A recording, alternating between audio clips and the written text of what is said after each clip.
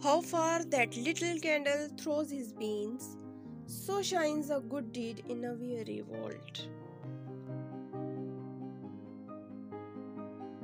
There is nothing either good or bad, but thinking makes it so.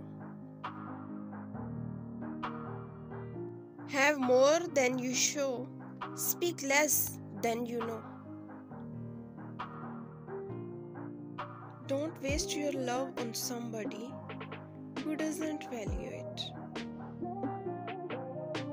Brevity is the soul of wit.